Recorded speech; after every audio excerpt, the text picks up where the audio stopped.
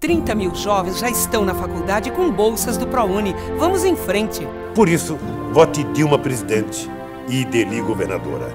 Essa é a garantia de muito mais desenvolvimento para o Brasil e para Santa Catarina.